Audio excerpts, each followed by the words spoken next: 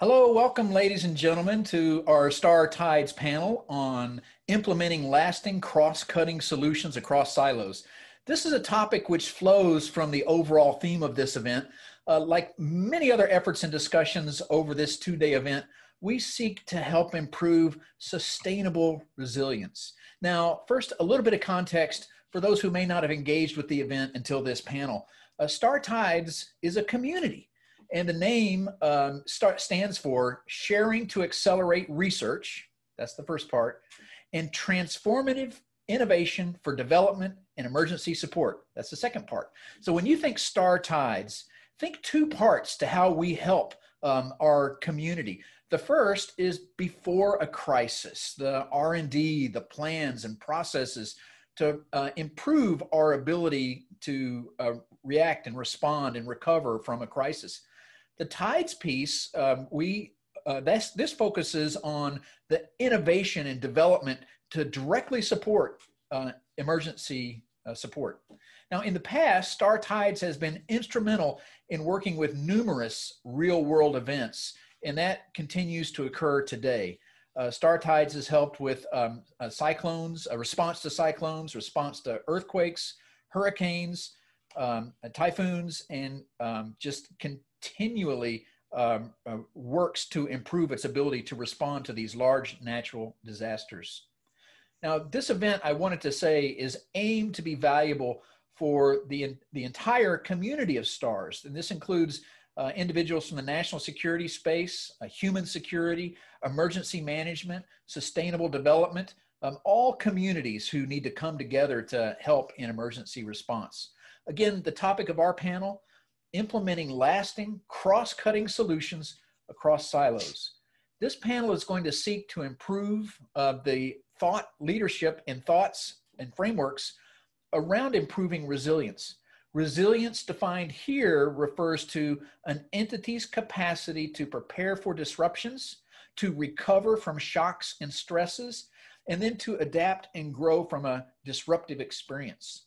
So this is all about improving our resiliency before a crisis um, and during a crisis when so many have to come together to respond, um, improving our ability to respond and endure uh, in that crisis, overcoming whatever obstacles there are. Now, um, I'd like to briefly introduce our three panelists, and then our format will be uh, we'll be asking each of them to give their comments on this. And then I have some questions I want to ask to pull out some thoughts. First, a little bit about me. I'm Bob Gourley. I'm the Chief Technology Officer of a consultancy called OODA. And I wanted to mention that OODA is a homage to a decision making process that I think is very relevant to crisis response. OODA stands for Observe, Orient, Decide, and Act. It's a decision model uh, made famous and created by uh, Colonel John Boyd, a U.S. Air Force fighter pilot, who created that uh, acronym to underscore his decision making model uh, in combat and also to underscore his lessons from the study of major military operations throughout history. Uh, and it's a model for very dynamic decision making, like those responding to a crisis may need to employ. Uh, and that's why I wanted to mention um, the company name of OODA is a homage to this decision model, and it's a model I think very relevant to disaster response. Uh, let me give a brief bio of each of our three panelists, um, and then I'll ask them to uh, give their thoughts. Uh, Declan, Declan Kirrane is a manager of a, a critically important consultancy, uh, Intelligence in Science. Now they specialize in science, technology, and R&D, um, and they help do that across countries, across um, um, mission areas and domains and borders and he does that in a way that I think the Star Tides community uh, very much appreciates because uh, his development of R&D consortia can help bring focus to much needed areas where we really need to develop more capabilities before a crisis. And, uh, and I also want to introduce Clare Lockhart. Uh, Clare is the uh, director and co-founder of the Institute for State Effectiveness. Now, she has a lot of experience with states and um, uh, measures of effectiveness for these states and pulls together this knowledge uh, at the uh, Institute, which I would not call a, think tank. I believe it's been referred to as a do tank. Um, let's bring together info and then uh, see what action we need to take. Uh, Mike Tanji is a um, experienced executive leader who has worked in government and industry and, and has had a large focus on reducing digital risk and mitigating the risk that comes from um, non-resilient systems, which can be under cyber attack. He currently uh, works uh, with as the chief of staff of the Global Cyber Alliance, a nonprofit organization whose mission is to eradicate systemic cybersecurity risk. This is a tough job, but observing the Global Cyber Alliance for years leads me to conclude that these guys are making progress. They're finding things to do and they're doing it in measurable ways. Uh, with that as the briefest of introduction, I wanted to ask each of you to speak for a few minutes and first correct my record if I got your bio wrong. Uh, tell us a bit about your organization and tell us your views about um, what you think we should do collectively to help mitigate the risk of um, and improve our resiliency before a crisis. And uh, Declan, I'd like to turn to you first, please. Bob, hi, and congratulations to you on pulling this meeting together. I think the timing is, is particularly important. We've just recently been engaged with the United Nations in a process to raise awareness of the role and contribution of science and technology and collaborative research to delivering the UN Sustainable Development Goals. So this dialogue today, I think, comes at a, at a very, very good time. Uh, if I, I suppose I, just following your introduction, I'd like first of all to speak to the, uh, the, the uh, silo element, and I absolutely uh, support the orientation of this conversation around the idea of silo breaking, as, uh, as I might call it. And so, what, what does that mean in, in, in, in this context? Well, to, to my mind, um, the question of resilience is, is critical, as, you, as you've outlined. So, how does one prepare for that? Well, you know, from a general perspective, uh, I'd really like to focus on the contribution of collaborative research and development to delivering resilience capacity building. But of course, I think we have to look at this in, in global terms. And again, coming from the, the uh, UN discussion and dialogue, I think there's a huge urgency to enable global collaborative research and development. Now, I mean that in a, in a, in a very broad sense, but certainly in key areas which are germane to, to disaster preparedness. A lot of that comes down to enabling data, data access, data exchange. So I think that's, that's going to be an issue in future. But looking at it in a bit more detail, I think we're looking at a, a data enabled environment for research and innovation. I think how that applies to resilience is something we have to consider. But clearly, we're looking at a data enabled resilience capacity. And what I think is very important and isn't sufficiently recognized is the fact that this data needs to flow around the world ideally, to wherever these disasters are going to happen or happening or have happened, and how we use that data to address the, the, the, uh, the challenges. But of course, data, as you probably know, is increasingly becoming under the influence of regulations. In Europe, we have the General Data Protection Regulation. The state of California has a similar piece of regulation that I, I, th I think it's a, a privacy piece of legislation. I, I forget the exact title, and there is a move by a Senator Moran in the US Congress to move a federal piece of legislation. Then you move to other parts of the world, and similarly, they're evolving this, this, these, these regulatory environments. So, how are these going to impact on this data enabling capability that's going to be very, very necessary? And I think that this has to be understood. Why is that important to understand? Because, of course, it affects policies. And I think the resilience community needs to be much more active in order to engage with policymakers. But again, arguably, we don't have a global policy community. We have the United Nations, which advances ideas and builds a community of interest, but that is not that does not equal legislation. It does not equal implementable policy. Ideally, it should, in, in my view.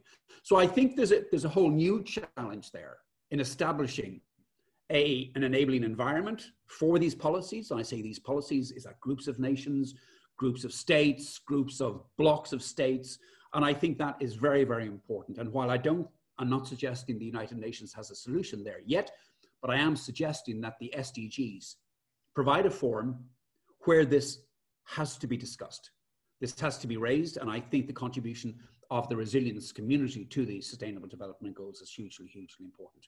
At a, I suppose, at a soft level, we have to therein consider, of course, apart from the disasters and, and scenarios you've just outlined, I think there's an ongoing uh, uh, challenge to enable resilience, for example, in, in community health globally. And of course, the health dimension of resilience is vitally important.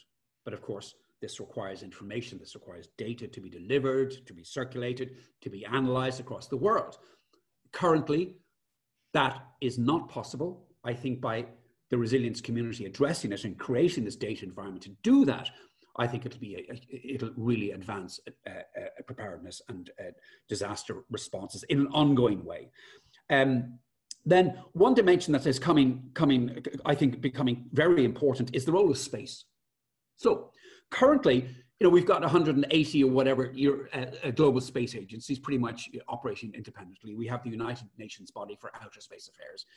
And by and large, this community has been, you know, independent republics. So I think there's enormous potential for space-based assets to deliver enormous capability with regard to a permanent resilience capability and capacity. And I'm talking about engaging with these entities to design resilience capacity again. And I'm coming back to this theme of data enabled capacity. And this time I'm talking about this capacity coming from, from space assets. And I think there's enormous capacity to do that. But of course, the only way that data solutions are going to be able to be delivered in many places that disasters take place is by space. It's not going to be by road, it's not going to be by telephone cables, blah, blah, blah. Mobile telephony, yes, but space is going to be the enabler for that. And I think that's a, that's a huge chapter that still needs to be developed. And I think the time is ripe uh, to do that. So I'd really like to, to uh, uh, recommend that space is made a firm part of this discussion. And then I suppose a bit more at a practical level, and you've, you've, you've, you've already introduced, introduced this idea, the, the research element. So how do we bring together the communities and stakeholders on an ongoing basis to do the research that is going to result in the innovations necessary to perform constant resilience capacity and capacity building. That has to be across nations, it has to be across disciplines, and again, it's going to be data enabled. But there needs to be initiatives to fund to regulate, to create the enabling policies to allow these collaborations to take place. And they have to be global. They have to be in what we currently call less developed nations, developing nations, and of course, developed nations.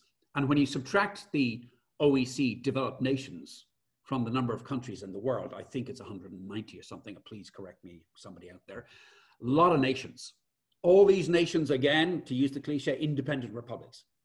That's not a lot of good if you want to build a global capacity resilience. So how does that advance? And that's why I feel the conversation needs to be advanced at the level of the United Nations. And in particular, you will know that the United Nations is advancing this model concept of a global scenario for digital interdependence. And I think that's quite self explanatory. But this digital interdependence initiative comes with an associated roadmap for digital cooperation, setting forward a number of years hence key milestones. Resilience is not on that. So I asked, could the resilience community, represented here, go forward, work with the UN on their digital roadmap for cooperation at global level, and insert into that key mechanisms and milestones that would deliver this resilience capacity of course, in collaboration with others. And I think the stakeholders here that are going to be necessary, and we'll hear a lot more about cybersecurity and other forms of security to support resilience, absolutely vital. I've also mentioned health, but then we also need to recognize the importance of environmental data, uh, uh, climate data, and of course the interpretations and analysis of these developments. And again, that's all a data challenge. Right. So then we need to see what does this data cruncher look like and what are the outcomes and it's for the resilience community to design that so i think there's in conclusion an opportunity here to use the existing mechanisms principally at UN level, to piggyback on existing established processes they have to advance awareness and needs of the resilience community in order to establish capacity, and thereby looking in the immediate term at innovations in resilience that are going to make a difference in the addressing the challenges that you have. Great. Thank you very much, Declan. Very, very well put. And Clare, I would uh, love to ask your thoughts on resilience, of course, but would you please start out by telling us a bit more about the Institute for State Effectiveness? It seems to be a very virtuous organization, and I think we should all know more about uh, what you're doing there. Well, thank you. And I think I'm going to take us from the global to the country and the community level.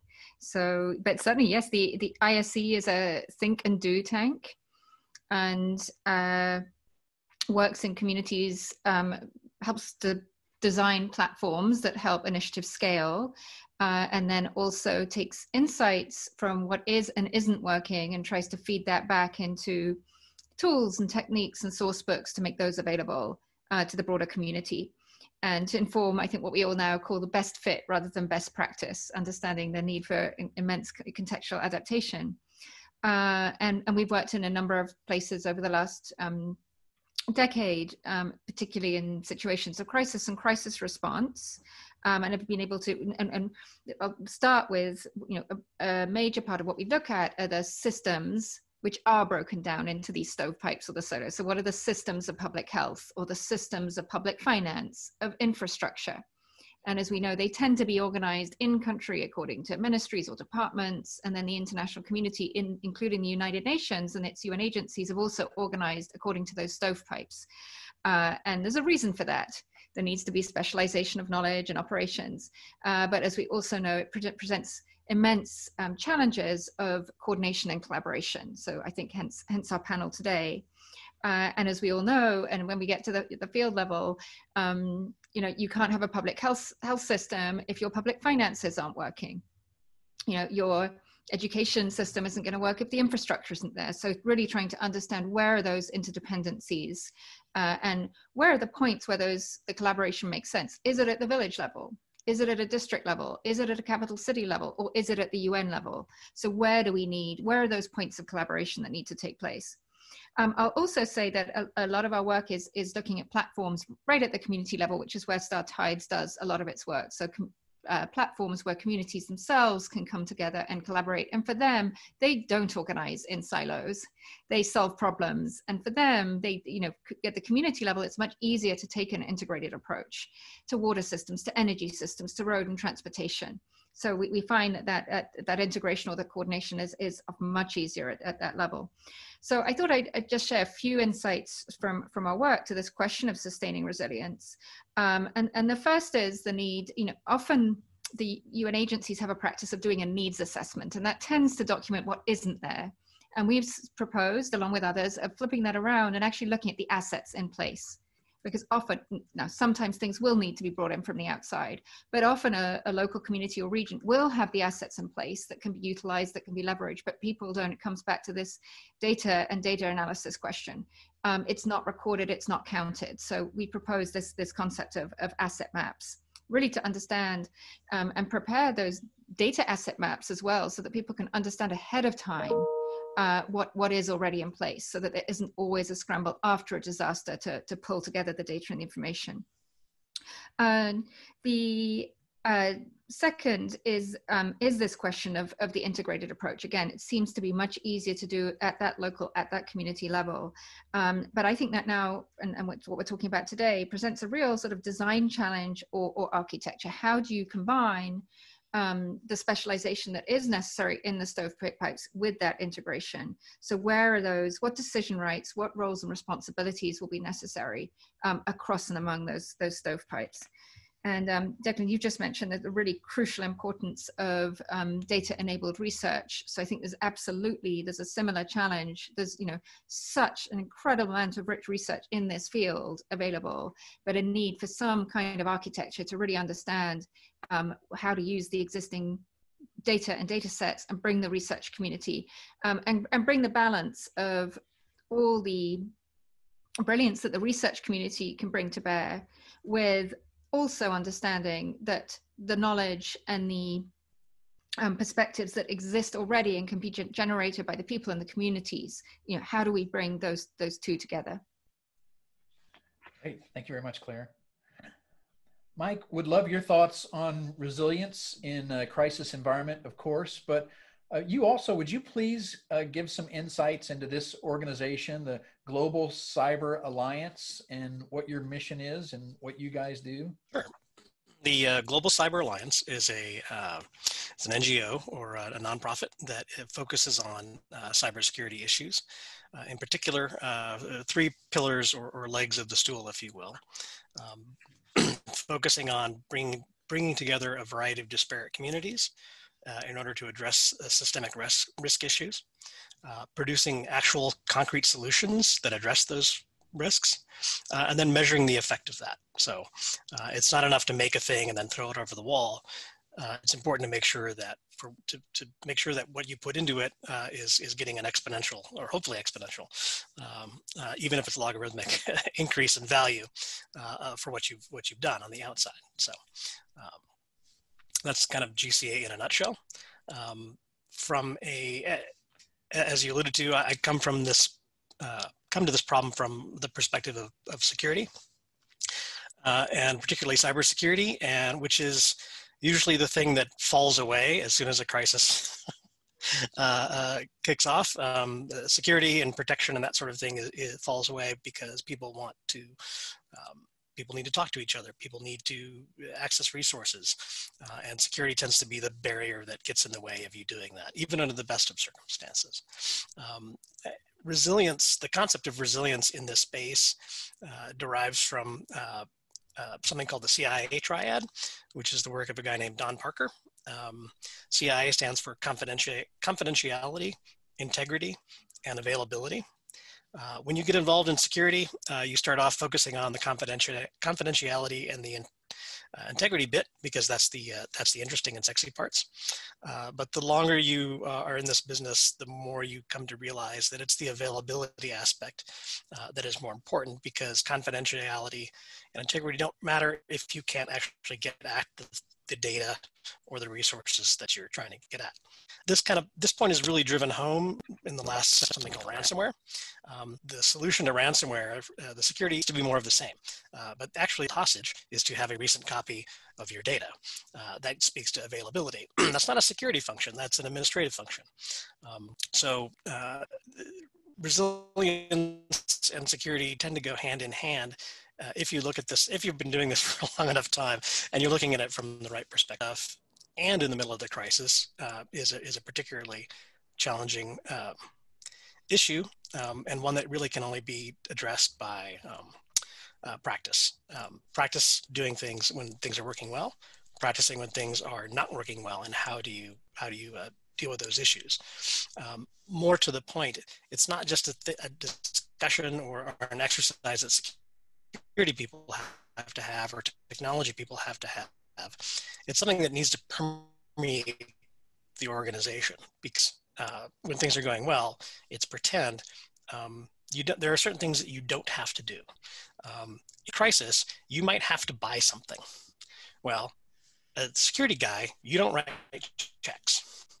The IT guy might not check, write checks um, there is probably an admin or a body that has to uh, uh, authorize payment and that sort of thing. It's, it's not it's not just whipping out a credit card and, and off you go. Um, particularly when you're talking about governments, um, government organizations. Um, so making sure that you involve all the people who might be involved during a crisis and what has to happen is something that, that tends to fall away. We tend to fall in the security space. We tend to focus on security nerd things, um, and and and just assume that it's it's you know this is big math problem. It's all all these givens that we assume are going to be working well for us uh, in a crisis, uh, and that usually turns out to be uh, to be not the problem because you don't have time to wait for the the city budget meeting. Uh, or, or the state budget, uh, you know, legislature to get together. You might not be able to get the legislature together. So, how, how are you going to do this? Right. Thanks, Mike. And now, um, um, Mike, Declan, Clare, I'd like to transition to a few questions and answers. And uh, just as a, um, um, a note, not all of you have to address uh, the answer to every question. For example, I want to aim one to Declan on R&D, and then I'll ask Mike and Clare if you have any comments. Um, I'm going to ask Mike about uh, DNS, and it's something that uh, Declan and Claire, you don't have to feel obligated to talk about, but it's critical that we hit. Um, so first, let me jump in and say, um, Declan, I know you have a background in R&D and uh, tracking issues across borders and across communities, and wanted to ask if you could give us your thoughts on uh, what we can do to make r&d happen better before a crisis to improve resiliency. You know that's a big part of what this whole star tides community is about. From my experience increasingly we're seeing a movement away from a bunch of people getting together with a particular budget over a particular period of time to do a particular research activity. Moving away from that to an environment where the research is more dynamic and ongoing and it's done on a infrastructure a data infrastructure for example. I'll give you one example. The european union operates the biobanking and biomolecular resources research infrastructure i don't make up the names yeah also known as bbmri and this, as it says on the, is a biobanking capacity. But until this, if you wanted sample accesses, you'd have to ring around hospitals and wherever you think the samples might be that you want and try and get them. Now, it's accessible through this infrastructure. You kind of dial up for what you need. And that really advances the research capacity, the ability to do research in a sustained way, which is vital. That gets you out of the stop, start, stop, start, which is a problem. It's a problem in Europe, it's a problem in the US, it's a problem in Africa, it's a problem. And that just breaks breaks down and it militates against cohesive collaboration. And I think this is the critical thing. So how do you build it? So in answer to your question, I think what's ne- needed is a data infrastructure for resilience. I mean, that we need to define that, but we do that another time. Have that and then make that the global standard for resilience data, which then enables and encourages research activities on that data. And of course, these research infrastructures beget more data, they add to it, and on you go. And I think this is what's called sustainable research. And I think this is absolutely vital to prepare for any, any anticipated or indeed unanticipated disaster.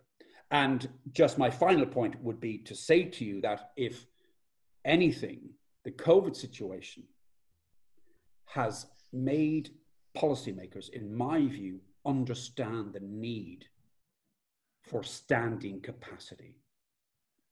You can't make this up from cold. Absolutely impossible. So it's got to be a permanent capacity. So I'm not sure if that contributes, but mm-hmm. that's what I would say.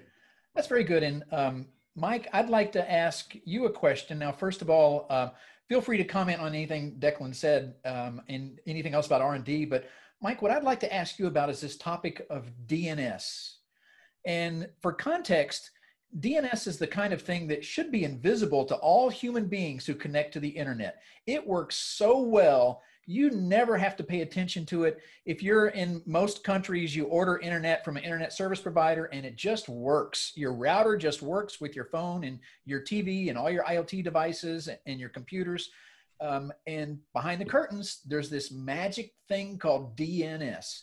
And since it just works and since it's invisible, none of us pay any attention to it except increasingly cybersecurity professionals who have realized that if you manage DNS properly, you can improve resilience and you can make it harder on bad guys because if they have malicious code inside your infrastructure, they're trying to communicate. And if you manage DNS properly, you can make it harder on the bad guys to communicate, for example. So I'm thinking there's a problem with DNS since nobody has to understand it, nobody pays attention to it. Um, in a crisis, you have all these people who are not technologists at all, just trying to survive.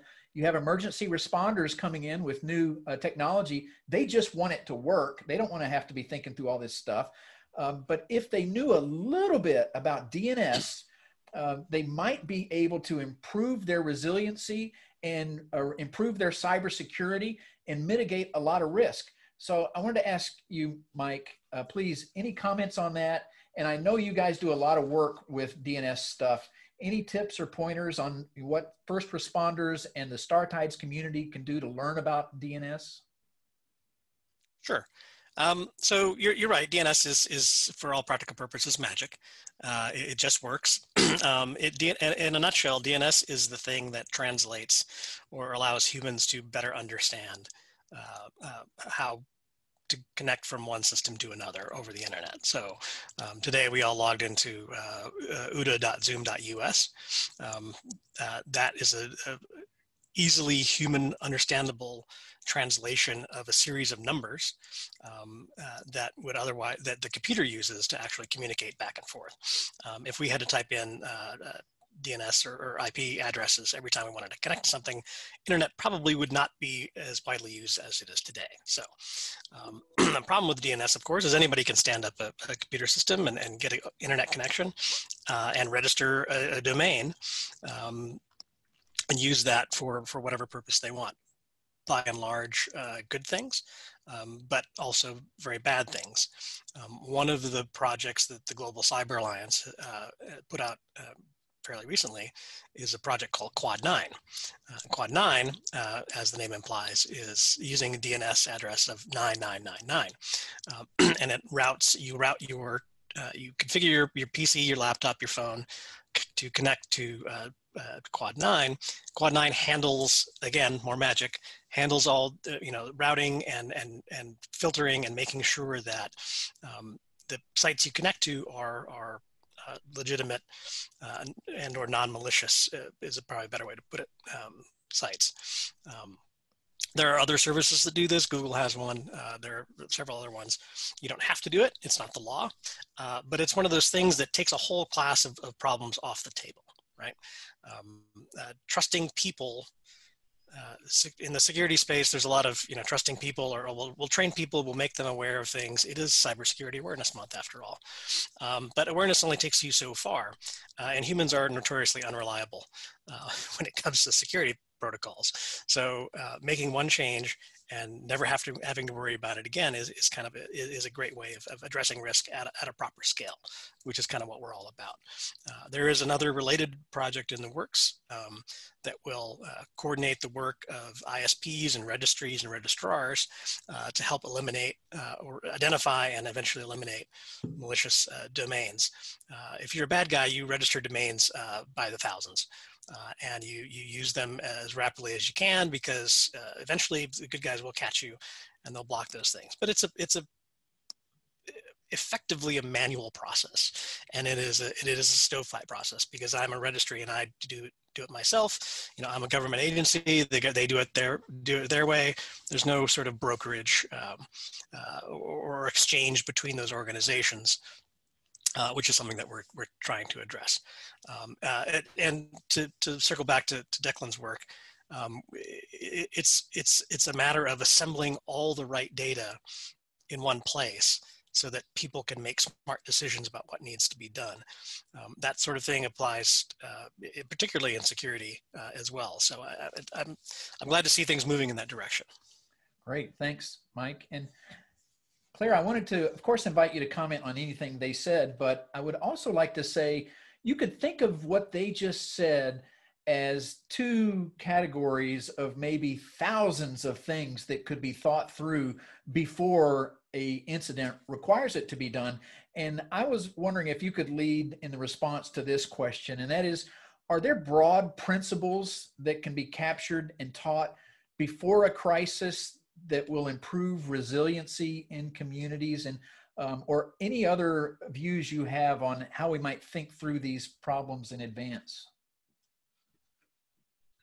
Certainly, and there's been a real trend over the last few years um, towards getting ahead of the problem and um, to work on disaster preparedness, not just disaster response, and similarly in the conflict resolution field to work on put investment into conflict prevention rather than just conflict response and, and rebuilding.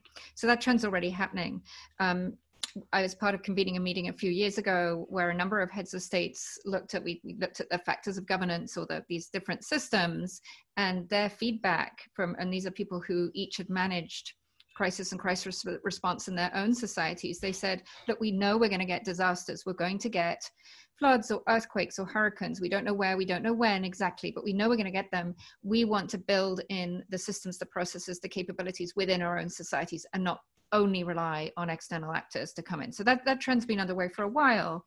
Um, and I think a lot of investment has taken in, in already into the you know, rules and processes for decision making and a lot of you know use of tabletop exercises and, and training together. So that's already underway. So on the decision making, um, I think one of the panelists already referenced the, the, the, issue of financial flows and financial decision making. We all know that procurement processes take a long time in a disaster. Those they need to be scaled up, and there's been a lot of work on, you know, what are the extraordinary rules and processes that need to be um, put in, on an emergency basis. And I think also um, people having teams of first responders, but really, and, and I think this is where we're all gravitating today, where I think there's an enormous gap is on the question of information flows, on data information analysis and research. And I don't see that the same investment is taken in this field in preparing the um, investing in this area ahead of time. So this seems to be um, one of the really new frontiers. I think the other, I'll just mention one of the challenges. Um, it's also using this perspective of risk analysis and, and reduction. Um, and where is it that risks can be identified ahead of time and mitigation measures put in place ahead of time. I remember working, for example, out in Nepal one time, and um, for the want of an investment in repairing a dam that would have cost about somewhere between twenty and eighty thousand dollars, um, a flood had occurred, and it had ended up displacing hundreds of millions of people downstream, um, and uh, sorry, hundreds of thousands of people down, downstream and causing millions of dollars of damage. Um, so again, it's that, but had that risk identification been in place, um, it would have been a happier solution for everybody. But the incentives, as we know, for doing that prevention work is is is really tough and it's no, well known in the diplomatic field that you're, you're not going to get the diplomatic uh, prizes for the prevention work you, it's very hard to prove that you've prevented something that might have happened so I think as well, thinking through this question of, of risk and incentive is, is also really important to this field. Great. Thank you, Clare. Um, Mike, I'd like to ask you a question. And you know, Declan mentioned when he was um, introducing his views on this concept, the issue of regulations. And we are increasingly in a global regulatory environment with the you know EU's GDPR, the California Consumer Privacy Act, and uh, so many others of these popping up. And uh, this means privacy is an issue. And I was wondering if the Global Cyber Alliance um, has tips, techniques, best practices for protecting data from unauthorized use that might be relevant in emergency response. Well, uh, so to circle you said best practice and, and to circle back to what Clare said earlier about best fit, I'm, I'm gonna I'm gonna read up on that and, and I'm totally gonna steal that. So don't don't be surprised.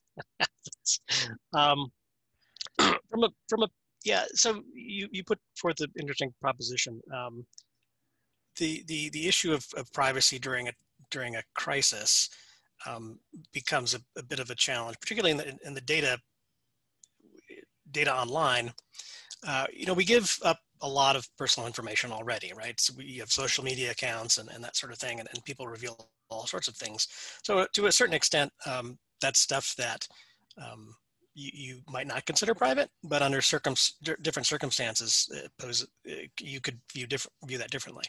Um, from a from a privacy standpoint, um, we, we don't have anything in, in particular uh, for, on an individual level um, but we do, we do have a number of um, uh, toolkits. Uh, we have a toolkit that we've assembled that has a number of different tools that people can use uh, on an individual basis. Um, the, the specific tools of which uh, vary based on who you are and what you do for a living. So uh, from uh, we started off with with folks in the small business space. Um, we have we have variations on that theme for journalists, which is, is something that's being released tomorrow, uh, as a matter of fact. Um, journalists around the world, you know, talking about resilience, talking about dealing with, with crises, getting the word out about uh, a crisis and how bad it is, uh, what things are needed. Um, uh, that that's that we rely on journalists and reporters to do that sort of thing. Um, but those sorts of things could also happen in parts of the world where, where journalism uh, and, and how we view that in, in, in the US or, or Europe uh, is, not viewed the same way uh, by the government. Um, uh, journalists are, are the enemy, uh, for, for lack of a better term. Um, so uh, all, all those sorts of things um, apply in a crisis. it's something that, that people need to be aware of.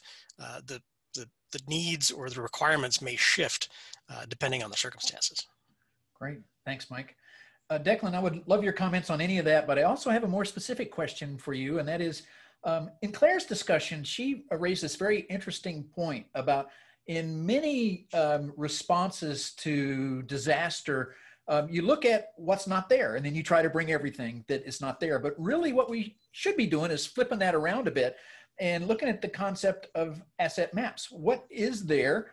Um, that can already be used and how do you optimize that? And i was wondering if you had views from an r&d perspective uh, could that sh- somehow shape uh, future r&d spends to develop new capabilities that will help us rapidly assess what is in a place uh, during a crisis and um, help us move to this concept of asset maps uh, absolutely, and and we we haven't, and maybe we should have uh, looked uh, in the time remaining. Look at look at the issue of uh, artificial intelligence, machine learning, federated machine learning, and I think these innovative tools, including blockchain, can really help us leverage existing knowledge assets and existing know-how, and I don't think the future is about reinventing wheels.